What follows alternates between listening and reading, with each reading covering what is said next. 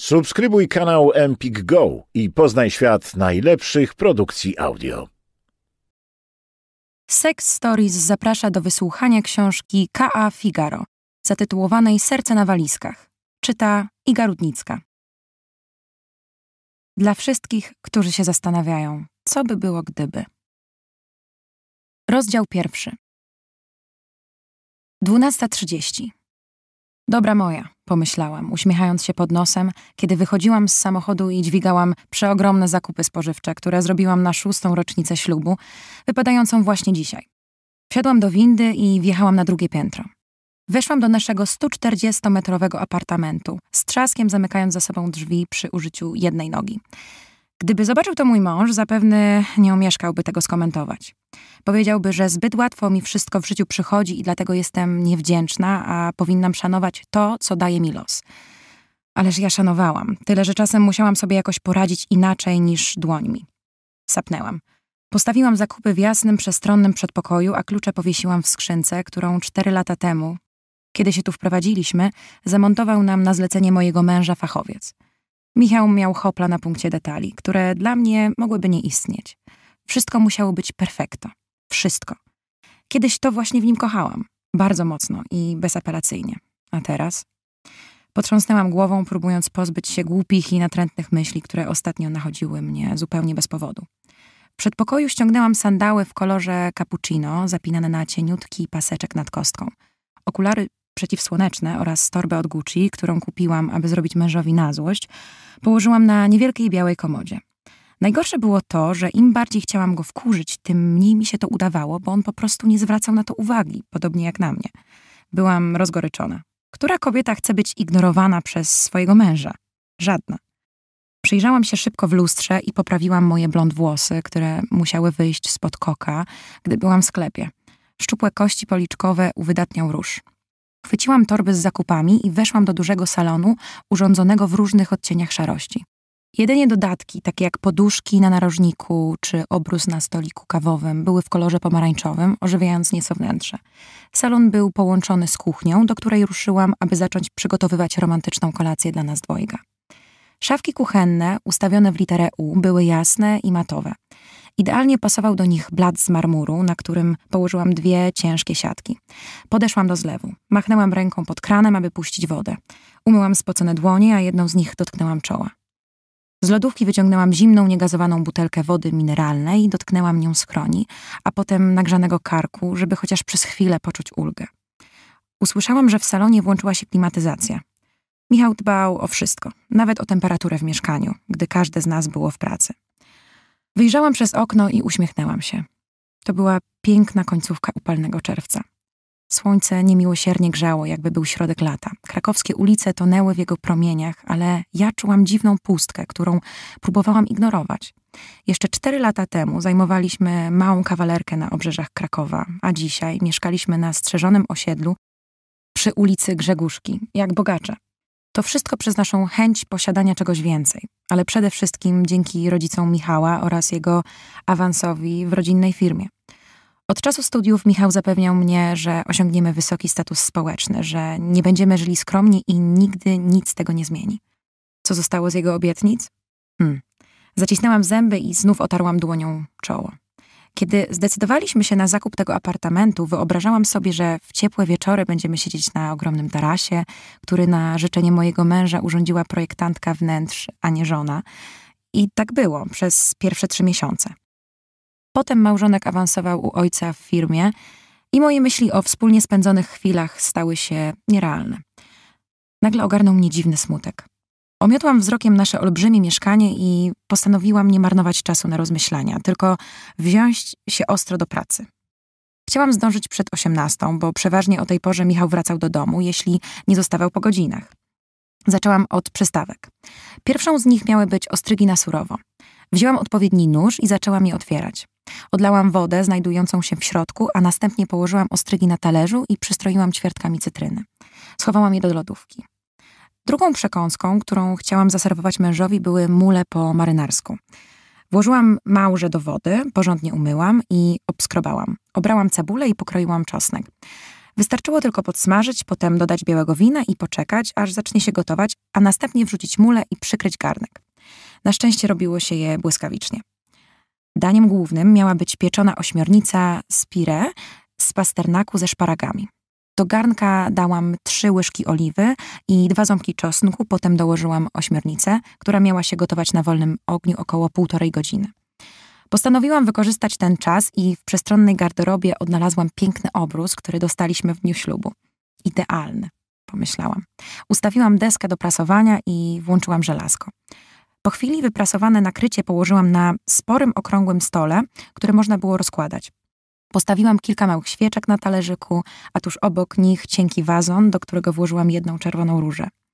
Rozstawiłam naczynia i sztućce, których używaliśmy od święta. Całość wyglądała doskonale. Uśmiechnęłam się do siebie. Poczułam skurcze w dole brzucha, a ostatnio zdarzało się to bardzo rzadko. Potrzebowałam przekonać się, że nadal jestem dla niego ważna i nie ignorować już dłużej swoich pragnień, ani nie zaspokajać swoich potrzeb samodzielnie. Ośmiornica jeszcze się gotowała, dlatego poszłam do łazienki, żeby się wydepilować. Najwięcej uwagi poświęcałam mojej małej. Wygoliłam ją dokładnie, pozostawiając na górze tylko cienki pasek z czarnych kręconych włosków. Przy Michale rzadko czułam się ładna, a bardzo chciałam się taka czuć. Starałam się być zadbana, ale jemu zawsze czegoś brakowało i wszystko w koło było ważniejsze niż ja. Wysmarowałam ciało balsamem, wysuszyłam włosy, które związałam w luźny kok, zamierzałam je rozpuścić tuż przed przyjściem Michała. Dzięki temu włosy lekko falowały. Zrobiłam delikatny makijaż i przeszłam do garderoby, gdzie na wieszaku czekała na mnie jedwabna czerwona suknia, która sięgała do kolan. Według mnie idealnie nadawała się na obchody szóstej rocznicy ślubu. Na jednej ze ścian wisiało lustro od podłogi do sufitu. Zażyczyłam je sobie na samym początku. Stanęłam przed nim naga. Patrzyłam na 32-letnią kobietę o zaokrąglonej sylwetce, na oliwkową cerę i oczy, których kolor zmieniał się w zależności od nastroju. Niekiedy były szare, innym razem niebieskie, a najczęściej zielone. Patrzyłam na mały, prosty nos i idealnie skrojone usta. Kiedyś dziadek powiedział mi, że będą moim atutem, gdy dorosnę. Miał rację. Lubiłam je najbardziej. Zjechałam wzrokiem niżej, napotykając obojczyki, a jeszcze niżej duże piersi z niewielkimi brodawkami. Delikatnie musnęłam palcami sutki. Zareagowały i stanęły na baczność, jakby spragnione czułości i dotyku. Niżej trochę wystający brzuch i niewielkie boczki, których nie lubiłam. Michał uwielbiał mi wytykać, że nie zawsze je miałam, że kiedyś byłam szczuplejsza. Próbowałam je zaakceptować, ale gdy mi się już to udawało, on ostro komentował moją figurę. Biodra miałam dość szerokie. Odwróciłam się bokiem, żeby spojrzeć na swoją pupę. Była wypukła, ale sprężysta. Klepnęłam się w nią lekko, zadowolona, że systematyczne ćwiczenia z trenerem personalnym przyniosły zamierzony efekt, choć przez ostatnie dwa miesiące miałam z nim kontakt jedynie przez Messengera. Złamał nogę i czeka go długa rehabilitacja. A ja bardzo przywiązuję się do ludzi, dlatego nie potrafiłam zdecydować się na kogoś innego. Odkąd pamiętam, musiałam dużo ćwiczyć i zdrowo się odżywiać, bo gdy tylko trochę poluzowałam, natychmiast przybywało mi zbędnych kilogramów. Nogi miałam długie, jędrne i zgrabne, a tuż nad kostką prawej stopy zrobiłam sobie niewielki tatuaż. Można było dostrzec ptaka, który wyfruwał z klatki. Kosmyk włosów wysunął się z luźno związanego koka. Rozpuściłam je, a wtedy lekko opadły na ramiona. Byłam naprawdę ładna, ale jednocześnie czegoś mi jakby brakowało. Czegoś, za czym goniliśmy nieustannie od dwóch lat, nie mogąc tego złapać. Westchnęłam lekko i odwróciłam się od lustra, na nowo związując włosy. W szufladzie leżały ładnie poukładane komplety z bielizną. Było ich ze trzydzieści. Postawiłam na te od Tiffany'ego. Czerwone koronkowe stringi i taki sam stanik. Delikatna bielizna, gdzie niegdzie zakryła moje ciało, a mimo to sutki ciągle starczały złaknione dotyku. Tak bardzo pragnęłam czuć się kochana i ważna. Tak bardzo chciałam, żeby zauważył, że istnieje, a nie tylko pamiętał, jak mam na imię. Westchnęłam smutno. W kuchni rozbrzmiały dźwięki zegara. Wyglądało na to, że ośmiornica już się gotowała. W samej bieliźnie udałam się to sprawdzić. Przez najbliższą godzinę zajmowałam się daniem głównym. W końcu wstawiłam je wreszcie do piekarnika. Wystarczyło tylko wszystko zagrzać. Szparagi także czekały w gotowości. Zrobiłam jeszcze pesto. W torbie odnalazłam iPhone'a i wybrałam numer Michała, zbliżając się do tarasu. Oparłam czoło o futrynę i zaczęłam przyglądać się przechodzącym ulicą ludziom, którzy poruszali się jak cyborgi. W sumie byłam jednym z nich. Wiecznie goniłam za nieuchwytnym, czyli za szczęściem, miłością, zainteresowaniem, pieniędzmi, a nawet seksem, który uwielbiałam, ale mój mąż chyba niekoniecznie. Cześć, usłyszałam basowy głos po drugiej stronie. Hej, ruknęłam uwodzicielsko. W domu będziesz o normalnej porze? Zapytałam z nadzieją. Tak, zamierzam wyjść z pracy za pół godziny. A dlaczego pytasz? Pamiętasz, jaki dziś jest dzień? Spytałam z nutką niepewności w głosie. Oczywiście, jak mógłbym zapomnieć. Uśmiechnęłam się, ciesząc się, że i dla niego nasza szósta rocznica była ważna. Cudownie, odparłam entuzjastycznie. To co, do zobaczenia w domu o osiemnastej? Będę czekać. Zapewniłam i usłyszałam piknięcie w telefonie. Rozłączył się bez pożegnania.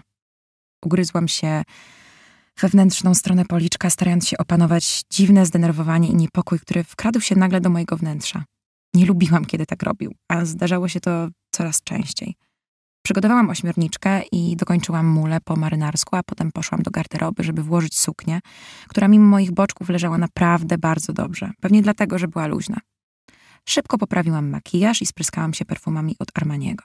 Na usta nałożyłam delikatną pomadkę i rozpuściłam włosy, które opadły na ramiona. Wyglądałam doskonale. Osiemnasta. Na stole czekały dania. Włączyłam nastrojową muzykę, która jednocześnie koiła moje nerwy. Usiadłam przy stole i czekałam, co chwila spoglądając na zegarek. 18.30. Nadal go nie było. Chwyciłam telefon, gotowa zrobić żałosną scenę, ale odłożyłam go równie szybko, jak złapałam. Nie miałam kilkunastu lat, żeby robić cyrk o głupie 30 minut. Gośka, nie wyolbrzymiaj, mówiłam do siebie. Na pewno są korki, to godziny szczytu. Większość osób wraca teraz do domu. 19.30, a jego nie było. Poczułam pieczenie pod powiekami. Zignoruj, krzyczałam w środku. Na pewno skręcił po jakiś prezent dla ciebie. Łudziłam się i jednocześnie starałam się wytłumaczyć jego nieobecność. Podeszłam do lodówki i wyciągnęłam wino Castel Blanche Crystal Cava, które dziś kupiłam z myślą o naszej romantycznej kolacji. Otworzyłam je i nalałam do kieliszka jasno-żółtawą ciecz, która wypełniła naczynie. Starłam błyszczyk. Po cholerę tak się stroiłam. Po co? Opierając się biodrem o marmurowy blat, zmoczyłam usta. Gdy wyglądałam przez okno, zastanawiałam się, gdzie jest człowiek, który kiedyś potrafił dotrzymywać obietnic. Westchnęłam, wycierając palcem wskazującym łzę, która spłynęła mi po policzku. Świnia. Cisnęło mi się na usta. Nalałam drugą lampkę i usiadłam przy pięknie nakrytym stole. Tyle nadziei. Przymknęłam powieki, próbując przywołać przyjemne wspomnienia, ale jak na złość nie chciały się pokazać. Czułam poniżenie, bezsens, smutek i zażenowanie. Tak się starałam przez cały cholerny dzień. Zagryzłam usta. Nie dam sobie jeszcze bardziej zepsuć nastroju. Nie pozwolę na to. Już to zrobił w 70%. 21. Nadal go nie było. Wypiłam niemal całą butelkę wina. Należało mi się. Nie zadzwoniłam do niego. Po co? Nie chciałam słuchać jego tłumaczeń, które znałam na pamięć. Kochał swoją pracę. Ja swoją też, ale z umiarem. On poświęcał się dla niej całym sobą. Zabierała mi go, pochłaniała, a ja coraz rzadziej potrafiłam do niego dotrzeć. Zawsze wtedy starałam się sobie wmawiać: pamiętaj, że w pełni go akceptujesz i kochasz, ale masz prawo być wściekła, zła i rozżalona. Lekko pijana wstałam od stołu i ruszyłam do łazienki, żeby pozbyć się makijażu. W połowie drogi usłyszałam zgrzytanie klucza w zamku. Stanęłam. Jestem! krzyknął, zatrzaskując za sobą drzwi. Zdjął buty i ruszył w kierunku salonu. Podszedł do mnie i musnął delikatnie ustami moją skroń. Mój mąż był wysokim mężczyzną z szerokimi ramionami i nieziemsko niebieskimi oczami, o słomkowych włosach. Zawsze podziwiałam jego rzęsy, które były dużo dłuższe niż moje. Twarz miał kwadratową. Kiedyś malowały się na niej ciepło i zrozumienie. Teraz patrzył na mnie tak, jakbym nie istniała lub była jedną z jego podwładnych. Westchnęłam, kiedy lekko przesunął dłonią po moich plecach. Lubiłam jego zapach. Z jednej strony chciałam się w niego wtulić, a z drugiej to było tak cholernie bezsensowne. Cześć, burknęłam od niechcenia, kiedy zdjął ze mnie swoją masywną dłoń. Przepraszam, że nie przyszedłem na czas. Wiesz, jak jest. Gdy wychodziłem, ojciec mnie zawołał i się zagadaliśmy. Przepraszam, czekałaś na mnie? Mam nadzieję, że nie. Dupek, pomyślałam. Wstąpiłem po chińszczyznę. Patrz, powąchaj. Jest cieplutka. Pomachał mi przed nosem papierową torebką. Wziąłem ci w pięciu smakach, tak jak lubisz. Chociaż i tak jesz zawsze jak wróbelek. On naprawdę miał problemy z pamięcią. Przecież zawsze, gdy Siadałam do chińszczyzny albo jakiegoś innego dania typu fast food, komentował natychmiast, że lepiej by było, gdybym tego nie jadła, bo powinnam dbać o linię, więc tak naprawdę od dawna nie zjadłam żadnego fast foodu w takiej ilości, w jakiej pragnęłam. Musiałam się kontrolować, bo inaczej spotykała mnie kara w postaci krytyki bądź obrzydliwego spojrzenia. Dziś wtorek, stwierdził. Tak jak ci mówiłem, pamiętałem. Uśmiechnął się od ucha do ucha. Zapomniał o rocznicy, a ja myślałam, że mówimy o tym samym. Zagryzłam wargę. Dlaczego jesteś taka wystrojona? Nawet nieźle wyglądasz. Mogłabyś tylko zgubić te boczki i związać włosy, bo w tych rozpuszczonych wyglądasz jak roztrzepana. A przecież wiesz, że lubię, kiedy wyglądasz perfekto. Mówił jak nakręcony, zważając na to, że mnie rani. Moja furia rosła. Siatkę z jedzeniem położył na czystym, idealnie wyprasowanym obrusie, tuż obok naczyń, które naszykowałam na nasze święto. Pomyśl, syknęłam kąśliwie. Daj spokój, rozbierz się i siadajmy do jedzenia. Umieram z głodu. Zjesz ze mną? Miałaś gości? W końcu zauważył. Pomyślałam, przygryzając wargę. Dziękuję. Nie zjem. Nie jestem głodna. Gości nie było. Podszedł do stołu i chwycił ostrygę, którą pokropił cytryną i przechylił. Cała zawartość, którą wypiłam, podeszła mi do gardła. Ze złości. Mmm, ale pachnie, czuję ośmiornicę. Ale nie chce mi się czekać, aż ją odgrzejesz. Zaczął wyjmować lekko pobrudzone plastikowe opakowanie, które położył na obrusie. Wciągnęłam powietrze, przymknęłam oczy i ruszyłam w kierunku garderoby, próbując zostawić za sobą wcześniejszy obraz. Co za ham! Przeszło mi przez myśl. Zsunęłam piękną czerwoną suknię. Spojrzałam na siebie w lustrze i prychnęłam.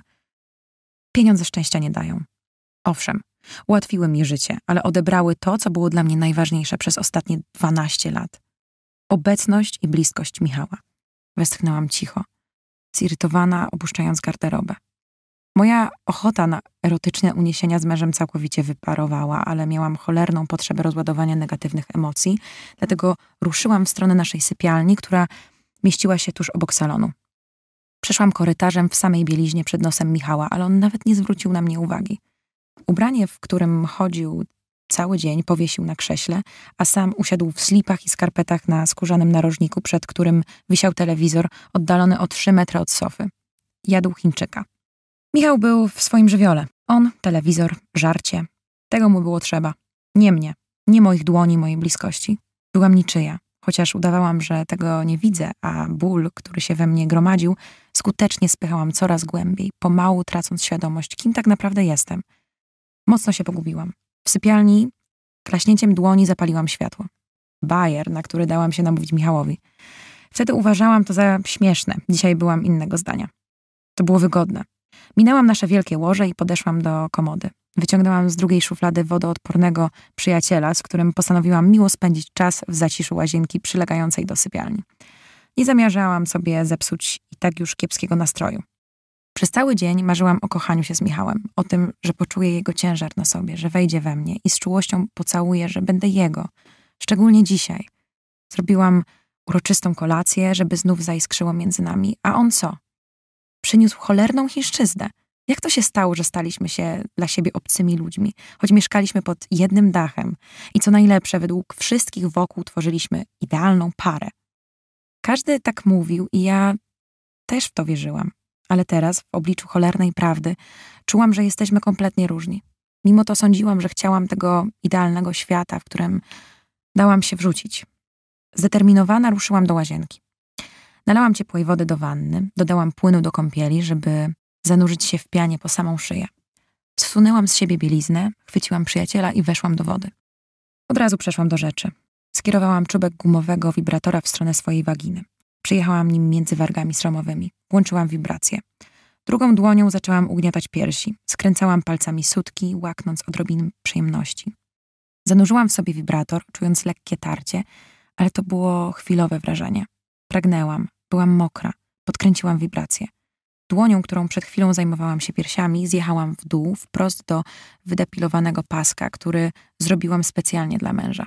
Wibrator pulsował we mnie, a moje palce sprawnie pieściły okrężnymi ruchami płatki. Przyspieszały i zwalniały. Nadawałam swój rytm, pewna, że dam upust cholernym pragnieniom. Chciałam zassać grubego i sztywnego członka. Przez moje ciało przechodziły fale podniecenia. Wyobraziłam sobie, o dziwo, nieznanego mężczyznę, który zanurza się między moje uda i sunie językiem po mojej spragnionej kobiecości. Wsuwał i wysuwał w swój ciepły język, mrucząc z satysfakcją. Widziałam i czułam długie palce, które zanurzały się we mnie. O tak, tak mi dobrze. Wibrator i palce, ciepło, ślisko, nieznajome w mojej wyobraźni, którego teraz ujeżdżałam. Moje piersi falowały nad jego twarzą. On je masował i lekko skręcał, potem dociskał mnie do swoich bioder. Mocno wsunęłam wibrator w siebie, pieszcząc łechtaczkę. Bezwstydnie zatrzymałam się, jęknęłam, a palce u stóp się usztywniły. Doszłam. Dyszałam, a w mojej głowie zrobiło się przyjemnie pusto. Dudnił w niej spokój. Rozdział drugi. Zaspokojona odłożyłam wibrator na podłogę. Wciągnęłam powietrze i zanurzyłam się po sam czubek głowy. Byłam zmęczona udawaniem, ciągłą troską i staraniem się. Czy tak miało wyglądać moje życie?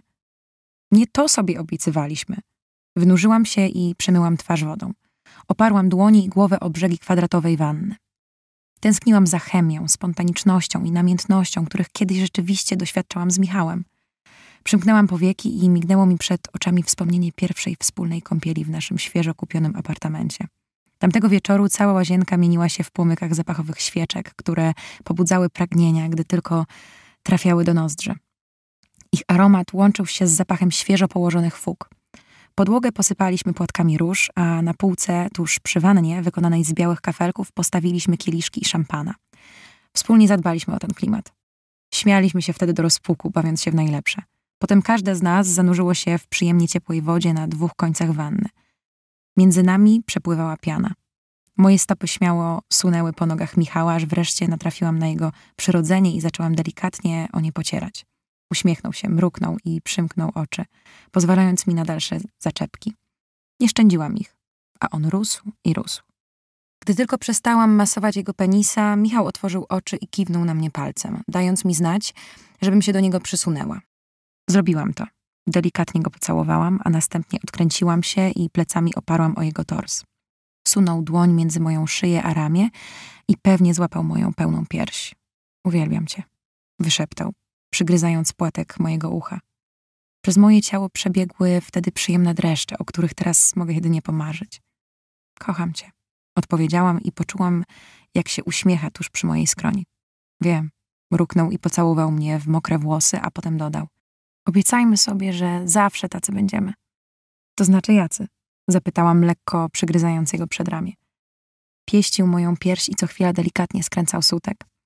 Przyspieszał mi oddech, a pożądanie, które czułam, ściskało mnie w dolnych partiach ciała. Nienasyceni, romantyczni, otwarci, kochajmy się. Bądźmy tacy jak teraz.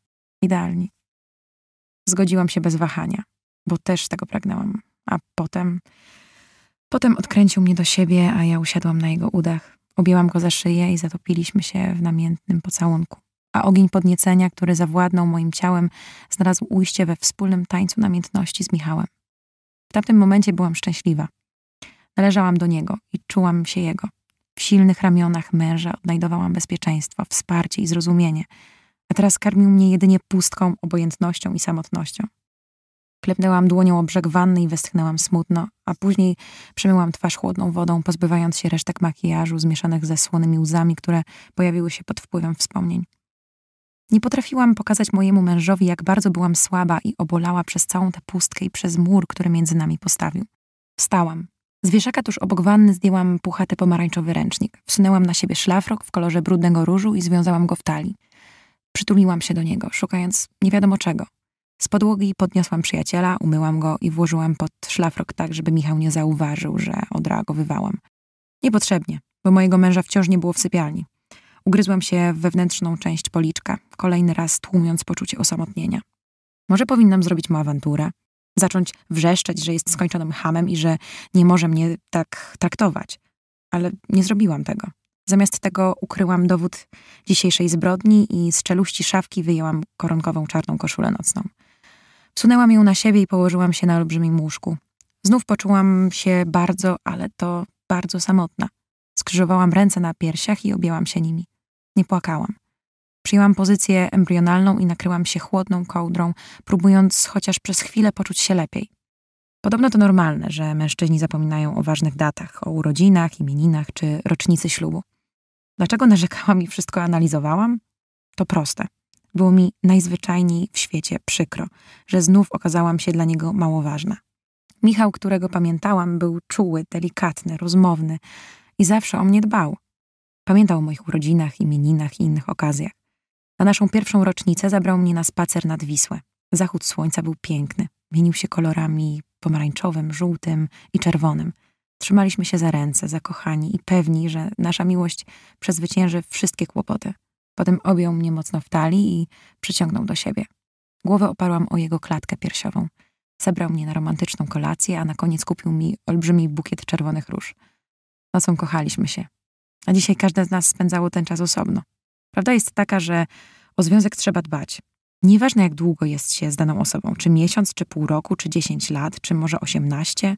Związek traci swoją moc, gdy rozmowa schodzi na drugi plan, gdy obecność zastępuje się pracą lub telefonem, albo gdy partner masturbuje się w łazience, kiedy druga osoba jest za ścianą.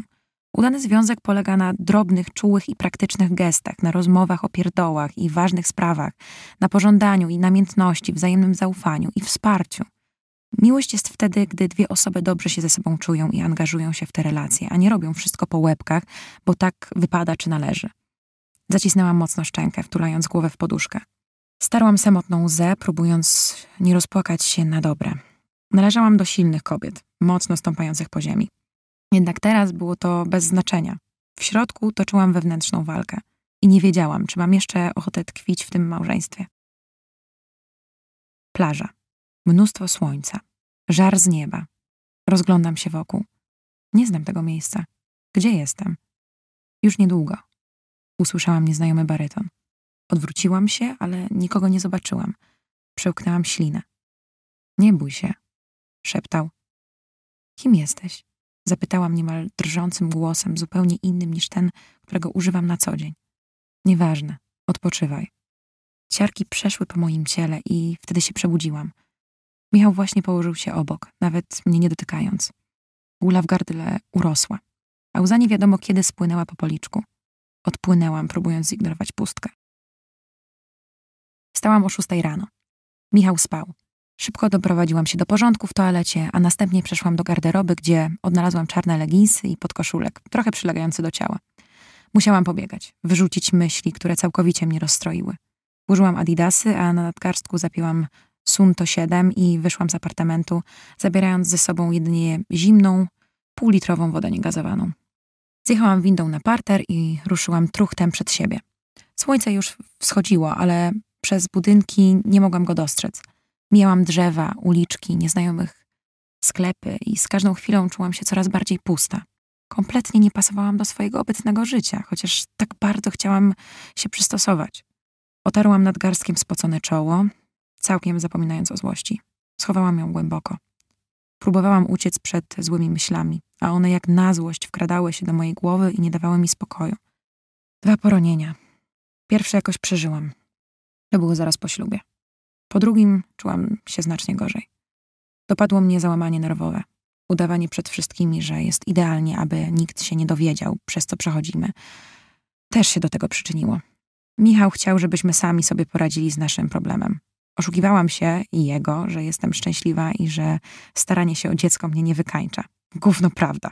Pragnęłam dać mu dziecko. Tylko jego brakowało nam do szczęścia. A także rozmów i bliskości.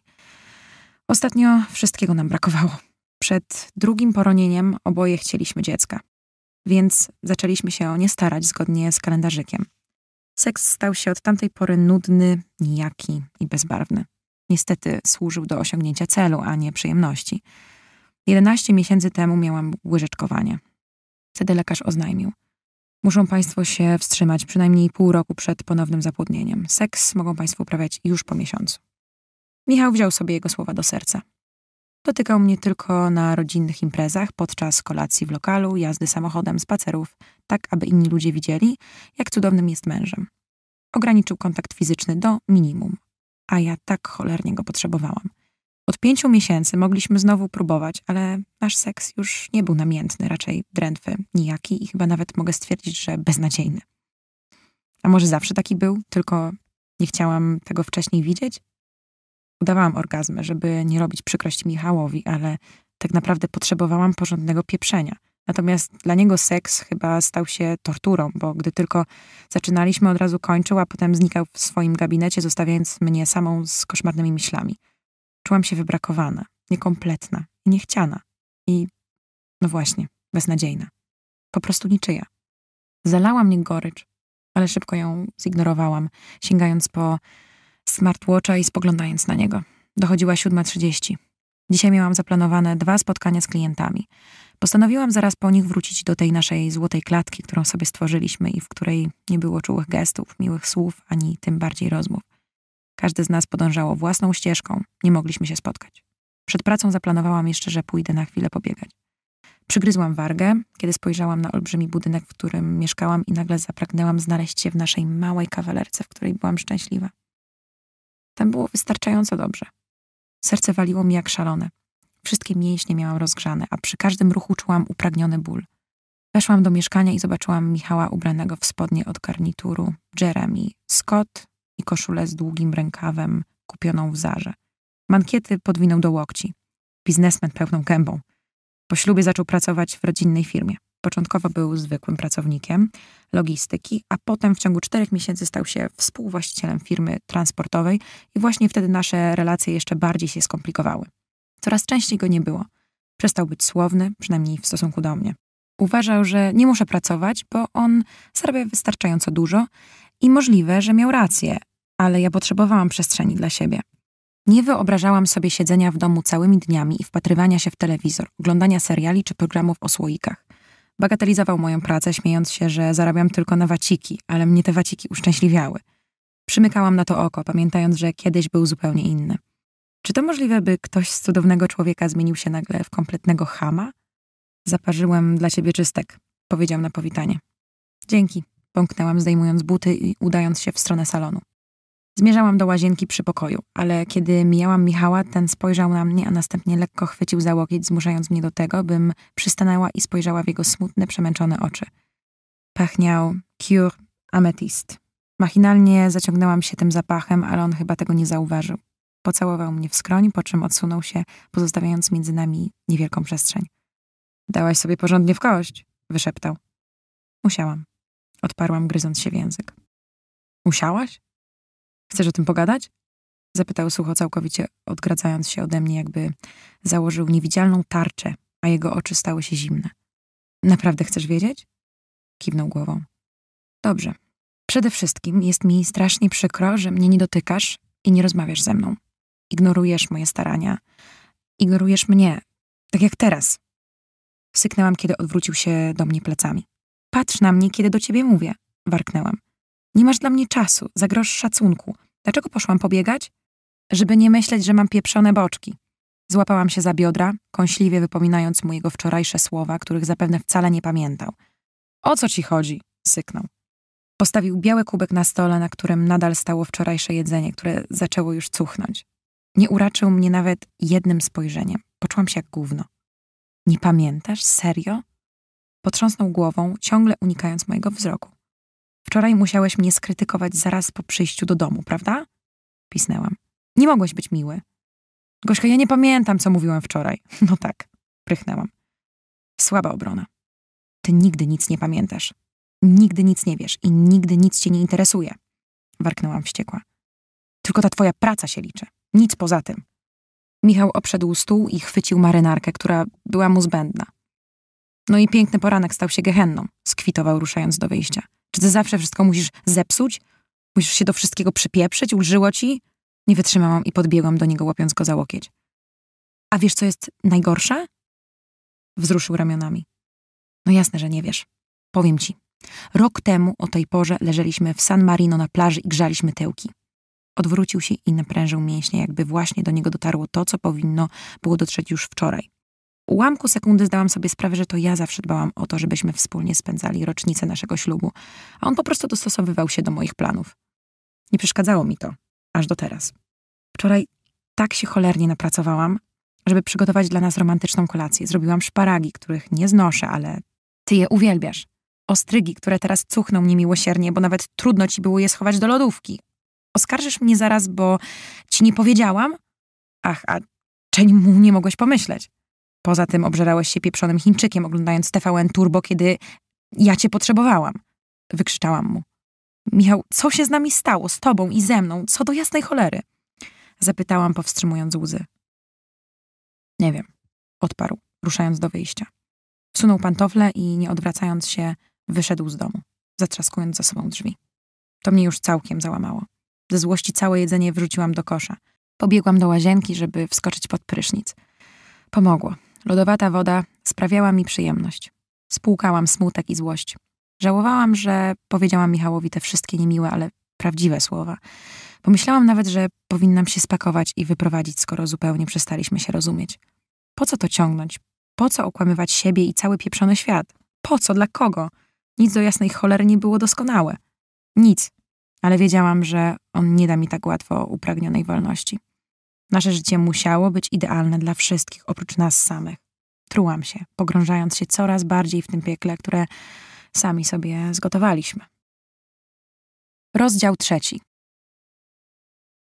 Kim byłam dla Michała? Zbędnym balastem? Niewygodną żoną? Porażką? Nie wiedziałam. Ale często po naszych kłótniach czułam się znacznie gorzej niż powinnam. Doskonale znałam swoją wartość, ale on na każdym kroku pokazywał mi, że się mylę. Jeszcze ten tekst, że zrobiłam mu gehennę z poranka. Pajac. A jak ja wczoraj wypruwałam sobie żyły, żeby zrobić wspaniałą kolację, a potem on zjadł chińszczyznę, to było wszystko w porządku. Po prysznicu chciałam upić trochę czystka, który zaparzył mi Michał, ale nie przeszedł mi przez gardło. Wyplułam go do zlewu, a reszta wylądowała w sedesie. W gardle miałam gulę, której nie mogłam się pozbyć. Musiałam napić się wody, zimnej. Zaczęłam buszować w garderobie. Na dzisiaj miałam zaplanowane dwa spotkania z klientami i chciałam wyglądać profesjonalnie. Była okazja, żeby podbudować swoje stłamszone ego. Dlaczego osoba, którą stawiałam na piedestale, starała się na każdym kroku udowodnić, że jestem nikim, jak jakiś karaluch? Tak właśnie teraz się czułam, jak karaluch. Westchnęłam i wciągnęłam czarną bieliznę od Tomiego Hilfigera, a następnie czarną sukienkę lekko rozkloszowaną przy kolanach, z wcięciem w dekolcie i paskiem w talii, do tego skórzane sandały Kaiser z obszyciem w kontrastowym kolorze, poza tym okulary i małą czarną torebkę. Ściągnęłam z nadgarstka smarta i zamieniłam go na klasyczny model zegarka. Zamknęłam mieszkanie i skierowałam się do windy, żeby zjechać na poziom minus dwa, gdzie znajdował się parking. Kliknęłam w guziczek, który odblokowywał drzwi samochodu, a moje czarne, luksusowe BMW zamrugało światłami. Wsunęłam się do środka, zastanawiając się, czy kiedy mieliśmy Opla Corsa, byliśmy szczęśliwsi. Odpowiedź okazała się banalnie prosta. Spotkania były czasochłonne, ale praca satysfakcjonowała mnie i dodawała mi skrzydeł. Uwielbiałam kontakt z ludźmi. Lubiłam patrzeć na ich twarze i odczytywać z nich emocje. Dzisiaj oprowadzałam młode małżeństwo, które miesiąc temu wzięło ślub. Mieszkanie chcieli kupić za gotówkę, jednak ceny tych nieruchomości, które ich interesowały, sprowadziły ich na ziemię. Dlatego przedstawiłam im dwie inne propozycje. Mieszkania znajdowały się w dzielnicy, która była dla nich atrakcyjna. Powiedzieli, że dadzą znać i wiedziałam, że mówią prawdę. Ostatnie mieszkanie, dwupokojowe z balkonem, znajdujące się na drugim piętrze, spodobało im się najbardziej. Może dlatego, że zostało całe wyposażone, a mieszkanie przeszło generalny remont rok temu, tuż przed wystawieniem oferty sprzedaży. A może dlatego, że cena była dobra. Dziewczynie, gdy tylko je zobaczyła, od razu zaświeciły się oczy i spostrzegłam, jak dyskretnie ścisnęła dłoń swojego męża. Wtedy poczułam ukłucie zazdrości w sercu, które natychmiast zignorowałam. Drugie spotkanie odbyło się na obrzeżach Krakowa. Klient poszukiwał kilku działek, w które chciał zainwestować. Nie wchodziłam w szczegóły, ale na mój gust rozglądał się za miejscem na postawienie przynajmniej pięciu hal magazynowych. Powiedział, że da znać, ale wyczułam w jego odpowiedzi wahanie. Wsiadłam do samochodu i na desce rozdzielczej zobaczyłam, że jest 14.30. Tak na dobrą sprawę mogłam zadzwonić do biura, powiedzieć, że się dzisiaj nie pojawię i wrócić do domu, ale to wcale nie był dobry pomysł. Nie chciałam siedzieć w czterech ścianach i myśleć o mężu. Byłam silną kobietą i niezależną, chociaż Michał uważał, że zarabiam tylko na waciki. Gdyby wiedział, że te pieniądze sobie odkładam, to by się zdziwił. Nie byłam głupia. Korzystałam z tego, co mi dawał, skoro bliskość poszła w zapomnienie. Poradziłabym sobie bez tych wszystkich markowych ubrań. Przecież chodziłam w ciuchach z H&M, Taco czy Kerry i też dobrze wyglądałam. Ale odkąd mój mąż dostał świra na punkcie kasy, prezencji i innych takich, wszystko musiało być idealne i dopięte na ostatni guzik. Tym bardziej ja, jego wizytówka. Przeklęłam go w myślach, wysiadając z samochodu. Zadarłam głowę i spojrzałam na wysoki budynek, w którym pracowałam, ale natychmiast tego pożałowałam, bo nagle oślepiło mnie słońce. Nachyliłam się, żeby otworzyć schowek i wyjąć z niego małe czarne pudełko. Miałam jeszcze coś do załatwienia, więc ruszyłam w wyznaczonym kierunku. Jak zwykle analizując, może niedługo nie będę jej nosiła, czy faktycznie jej potrzebowałam, żeby być szczęśliwa. W ogóle, co kryło się pod tym magicznym słowem? Dobra, Gośka, przestań się nad sobą użalać, skarciłam się w myślach. Masz wszystko, więc przestań pieprzyć, jaka to jesteś nieszczęśliwa. Skoro jest ci tak źle, to rzuć dotychczasowe życie i wyjedź gdzieś z dala od wszystkiego. Nie zachowuj się jak rozpieszczony bachor, którym od dawna nie jesteś. Gotowałam się cała w środku, próbując jednocześnie postawić się do pionu. Naprawdę doceniałam to, co miałam. Męża, dom, świetną pracę, ale brakowało mi bliskości, rozmowy, gorącego seksu oraz poczucia, że jestem dla kogoś naprawdę ważna. Miałam wrażenie, że ugrzęzłam w związku z czystej przyzwoitości i przyzwyczajenia. Ostatnio doszłam do wniosku, że naszą relację niszczyły pieniądze. Tyle, że mój mąż nie chciał tego dostrzec, a ja udawałam, że wszystko gra. Więc także byłam winna powolnego rozpadu małżeństwa. Westchnęłam cierpko, zła, że nie potrafię zmusić Michała do konfrontacji. Dotarłam na miejsce, spojrzałam na szyld z napisem jubiler i nacisnęłam klamkę, a potem weszłam do środka. Przy każdej ścianie stały podłużne witryny, w których znajdowały się piękne i drogie świecidełka. Rozejrzałam się po pomieszczeniu i zobaczyłam dwie ekspedientki, które obsługiwały klientów. No nic, muszę poczekać, pomyślałam, ruszając do jednej ze szklanych gablot, w której pyszniły się piękne kolczyki w różnych kształtach, wielkości i cenie. Czy mogę pani pomóc? Wyrwał mnie z zamyślenia kobiecy głos. Odwróciłam się i spostrzegłam ładną blondynkę w ołówkowej spódnicy, która sięgała jej do kolan, z rozporkiem na przodzie i koszuli z krótkim rękawem z białym kołnierzykiem. Włosy miała upięte w wysoki kucyk, dzięki czemu jej twarz wydawała się bardzo pociągła. Była znacznie młodsza ode mnie, a w jej oczach dostrzegłam przyjazne nastawienie. Dzień dobry, chcę powiększyć obrączkę. Odparłam. Skinęła głową. Proszę za mną. Podeszłyśmy do lady, z pudełeczka wyjęłam obrączkę. Umieściła ją w specjalnym urządzeniu i mruknęła pod nosem. Ze szklanej gablotki wyciągnęła prostokątne pudełko z przegródkami, w których leżały pierścionki. Proszę włożyć. Wsunęłam pierścionek na palec, ale nadal było ciasno. Kobieta podała mi kolejny i ten leżał doskonale. Nie uwierał i nie był za luźny. Był idealny. Ekspedientka pokiwała głową. W sobotę będzie gotowa. Grawer od y, wewnętrznej strony obrączki ma zostać? Tak. Odparłam, przypominając sobie datę naszego ślubu z inicjałami M i M. 21 czerwca 2014. Dziękuję. Proszę o pani dane, potrzebuję do przyjęcia zamówienia. Podyktowałam wszystko, co było konieczne, a na koniec dostałam karteczkę z datą odbioru. Włożyłam ją do portfela. Podziękowałam i wyszłam, czując na sobie niemal palące słońce. Od samego rana żałowałam, że nie włożyłam jasnej sukienki. Każdy wiedział, że czerń przyciąga promienie słoneczne, ale ja byłam rano kompletnie wytrącona z równowagi.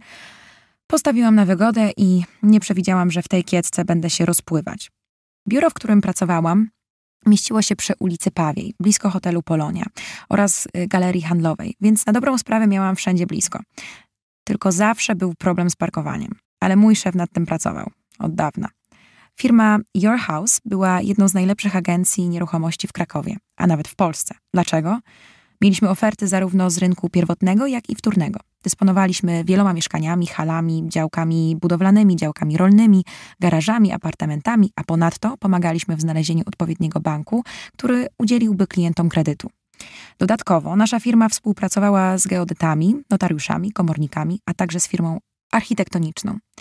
Nasz oddział cieszył się ogromnym zaufaniem. Byłam bardzo dumna z tego, że należę do 20-osobowego zgranego zespołu, w którego skład wchodziło dwóch informatyków, jeden kierownik, trzech fotografów, dziewięciu doradców do spraw nieruchomości oraz dwóch pracowników administracyjnych, kadrowa, księgowa i od niedawna także stażystka. Od razu przypomniało mi się, jak mama Michała wkręciła mnie tutaj na staż na stanowisko pracownika administracyjnego. Ta kobieta wszędzie miała znajomości a im był potrzebny stażysta, który zająłby się najbrudniejszą robotą. Teraz pracowałam jako doradca do spraw nieruchomości już ósmy rok. Kierownik stawiał na rozwój pracowników, dlatego bardzo często jeździliśmy na szkolenia lub uczestniczyliśmy w konferencjach online. Weszłam do budynku i skierowałam się w stronę schodów. Nasza firma mieściła się na pierwszym piętrze. Zajmowaliśmy pomieszczenie o wielkości około 600 metrów kwadratowych. Nad nami znajdowała się firma call center, gabinet ginekologiczny, stomatologiczny oraz usługi geodezyjne. Dzień dobry, przywitałam się wchodząc do biura.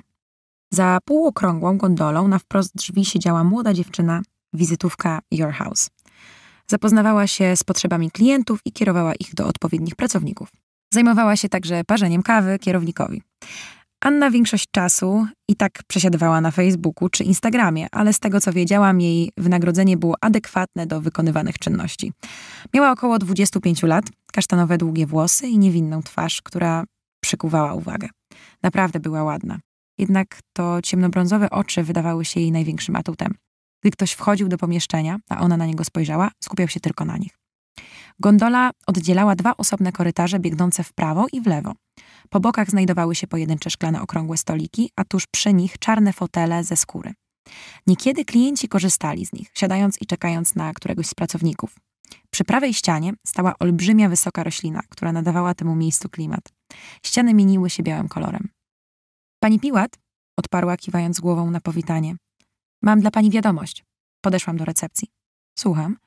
Pan Stanisław prosił, żeby pani do niego przyszła, gdy tylko się pani zjawi. Dziękuję. Odparłam, zastanawiając się, o co mogło chodzić. Czułam potrzebę napicia się niegazowanej wody, która czekała na mnie w lodówce w pokoju socjalnym, ale zamiast tego poszłam korytarzem w lewo, żeby po chwili zapukać w drewniane, masywne, brązowe drzwi do pokoju z numerem 5. Usłyszałam zaproszenie do środka. O, dzień dobry, Małgosiu. Proszę, siadaj. Wskazał krzesełko stojące naprzeciw niego. Pokój Stanisława był kwadratowy z małym balkonem. On sam siedział blisko okna, a szare ściany zakrywały metalowe szafy z dokumentacją. Była włączona klimatyzacja, bo na ramionach i nogach poczułam lekki chłód. W moim pokoju też czekała na mnie ta przyjemność. Stanisław był grubo po pięćdziesiątce, a mimo to nadal wyglądał jak z żurnala. Marynarkę zawiesił z tyłu fotela, jasną koszulę z długim rękawem podwinął do łokci, odsłaniając srebrny zegarek. Czarne włosy miały lekko przypruszone siwizną, za to ciało jak u trzydziestolatka miało kształt litery V. Zdążyłam się przy nim nauczyć, że wyglądem można zjednać sobie klientów. Był bardzo ciepłym człowiekiem. Potrafił zarządzać zespołem. Każdy go szanował za jego inteligencję, wiedzę i kulturę osobistą. Często wpatrywał się w drugą osobę swoimi niebieskimi oczami, budując napięcie. Jego cudowna żona odwiedzała nas i raczyła domowymi wypiekami, po które chętnie wpadałam do pokoju socjalnego, ale potem miałam cholerne wyrzuty sumienia, że sobie pofolgowałam i od razu myślałam o tym, co mi mówił trener personalny. Zajęłam miejsce naprzeciwko Stanisława. Dzień dobry, chciałeś mnie widzieć? Tak, tak, y, przejdę od razu do rzeczy. Kiwnęłam głową, żeby zaczął mówić, bo poczułam głód. Dostaliśmy dziś maila z informacją o nowym kliencie, który chce otworzyć nowy hotel. No to chyba dobrze. Mamy przecież kilka pomieszczeń, które moglibyśmy. Nie. Przerwał niemal natychmiast. Klientowi nie chodzi o pomieszczenia, raczej o powierzchnię. Chce kupić działkę, a nawet kilka działek. Podrapałam się po brodzie. Myślę, że coś się znajdzie. Rozumiem, że przyjedzie, żeby je zobaczyć. No właśnie. Problem polega na tym, że klient chce, żeby ktoś od nas pojechał do niego i rozeznał się w jego potrzebach dotyczących terenu. To miałby być pierwszy taki hotel w Polsce. Odparł entuzjastycznie. Co sugerujesz? Udałam głupią. Skoro jest zainteresowany, to niech sam przyjedzie i obejrzy działki. Przecież zakup jest w jego interesie. Małgosiu, wyślimy mu propozycję, przygotuję kilka. On chce, żeby pojawił się ktoś od nas i zobaczył jego hotele. I co, niby ja mam tam jechać? Zapytałam wyczekująco, wbijając w niego wzrok. W sumie to nie głupi pomysł. W końcu bym odpoczęła i zdystansowała się od problemów związanych z Michałem, pomyślałam. Tak, chciałam, żebyś to była ty, bo masz w sobie werwę, smykałkę do interesów i potrafisz negocjować. Jesteś zaangażowana, komunikatywna, świetnie znasz prawo zobowiązaniowe i prawo rzeczowe. Znasz kilku architektów. Wyliczał moje zalety, a mnie zrobiło się naprawdę miło, bo w końcu ktoś mnie docenił. Architekci raczej będą zbędni. Odparłam bez namysłu. Skoro klient chce wybudować własny hotel, na pewno ma sztab ludzi do pomocy. W sumie racja. Ale najważniejsze jest to, że znasz portugalski. Wytrzeszczyłam oczy i się zaśmiałam, a w piersiach poczułam szybsze bicie serca.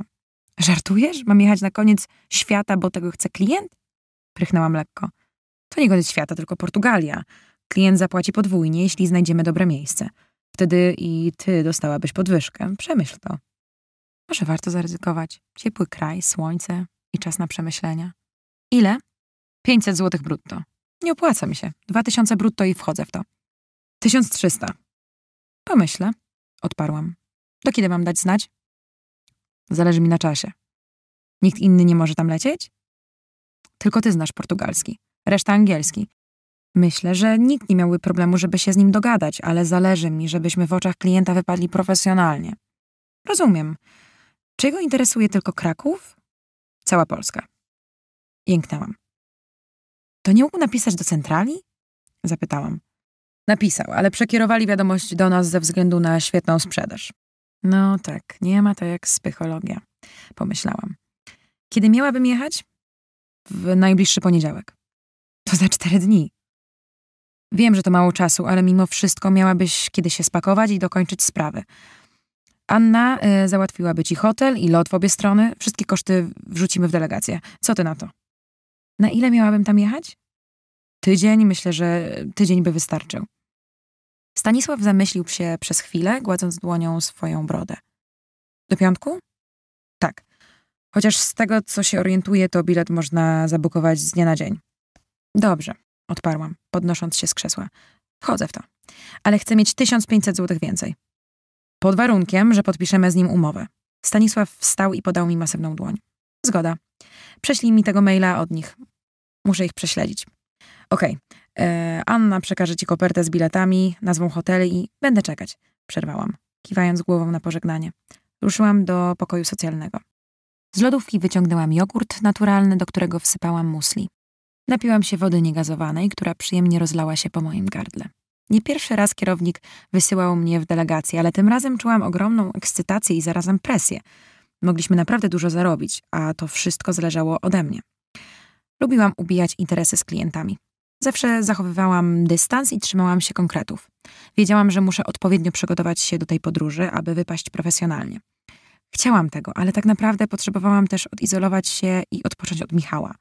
Dwa razy zdarzyło się, że klient był zainteresowany seksem, ale dałam mu jasno do zrozumienia, żeby o tym zapomniał.